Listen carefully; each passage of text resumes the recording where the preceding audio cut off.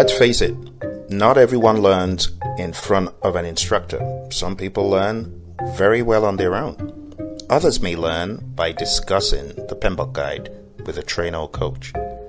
Others may learn by watching videos.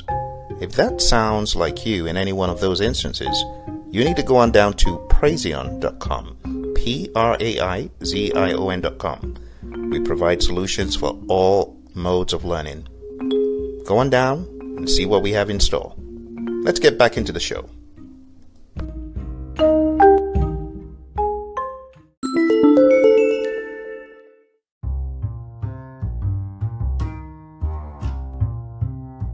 Hello, and thank you for joining me on the PMP Exam Radio Show today. Today, we have an episode that needs your full attention. So, if you are driving, this will probably need you to park for 10 15 minutes and take this quiz, or take it when you are stationary.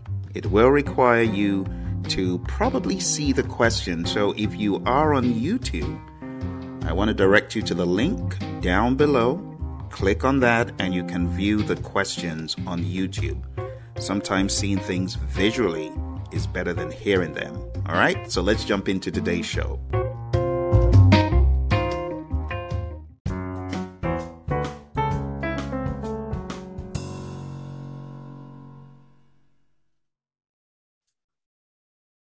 Welcome to part two of the Project Management Masterclass preview. Today, we're going to be looking at questions. We start off with the people piece of the exam. First question You are working on a project as a team facilitator. You have identified that there is conflict among four team members who have formed factions. What is the best course of action for this situation? A. Resolve the conflict issue for the team and get management involvement. B, evaluate, recommend, and reconcile the appropriate resolution solution. C, avoid getting involved in the conflict. These matters are expected on teams. D, find out which party is wrong by having separate discussions with the team. I'll give you five seconds to conclude your answer. And if you need more time, feel free to hit the pause button. Five, four, three, two, one. The answer to this is B. This is the best option based on the PMP exam content outline. All the other options are either reactive or incorrect. A lot of the questions on the exam are as straightforward as knowing what is the right thing to do versus what are the seemingly nice sounding things that are incorrect. Conflict is not about finding out who is right or wrong. It's about bringing both parties to the table as much as possible to collaborate you could be a facilitator of that collaboration. And that is what B suggests. D is wrong. C, don't avoid getting involved in the conflict. It says you're working as a project team facilitator. This is part of your job. And A, you don't resolve conflict issues for the team and get management involvement under most circumstances. Don't resolve conflict for two parties. Next question. A new team member just joined the project with very little experience. However, she is very confident in herself and her abilities to learn. She is very eager to take on work. Which leadership approach should you use with her? A. Delegating. B. Coach. C. Directing. D, collaborative.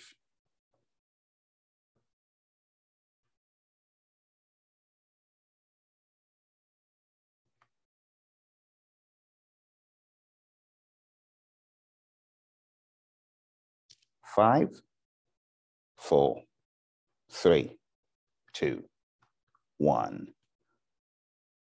If you need more time, hit the pause button. The answer to this question is based on the Hersey Blanchard situational leadership model. And in that model, we have four quadrants.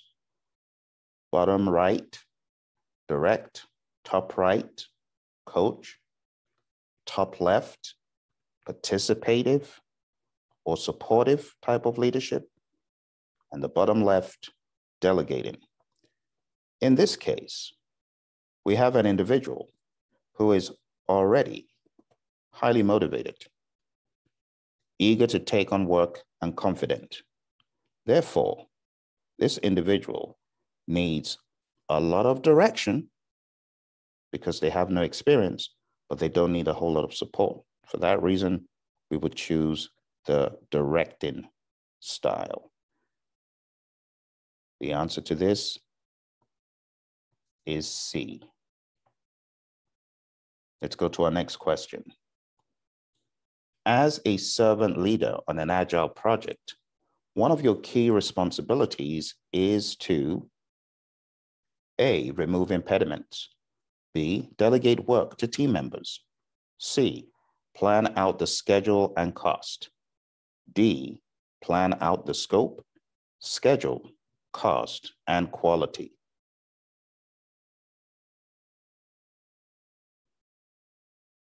Hit the pause button if you need more time. Three,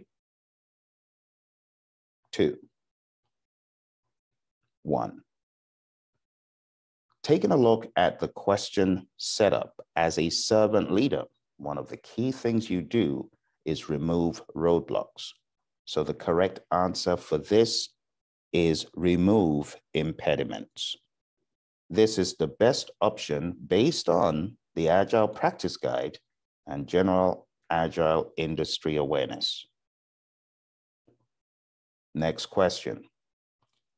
On your five month government project with 20 powerful stakeholders, you also have a stakeholder with a low level of power and interest on the project.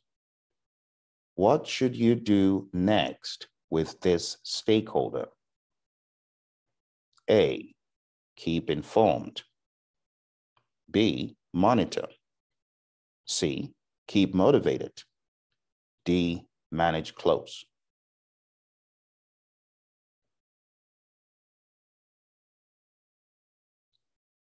Hit the pause button if you need more time. Countdown. Five, four, three, two, and one. Let's take a look at the power interest grid, also known as the influence impact grid. You might recall from our studying together, from other videos I have on YouTube, you can think about power on the y-axis and interest on the x-axis. You could break this down into four quadrants. Stakeholders with a low level of power and a low level of interest, you need to monitor low level of power, low level of interest. Monitor them because they could change as the project evolves. Stakeholders with a high level of power and a low level of interest. You want to keep satisfied stakeholders with a high level of power and a high level of interest. You want to manage close and stakeholders with a high level of interest and a low level of power, you want to keep informed. Therefore, the answer to this, a low level of power and interest, is monitor B.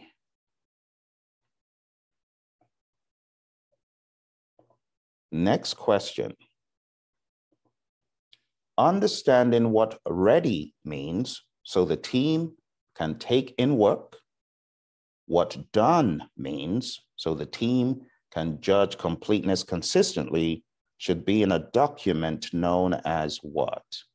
Is it A, the project charter? Is it B, the project scope statement? Is it C, social contract? Is it D, scope management plan?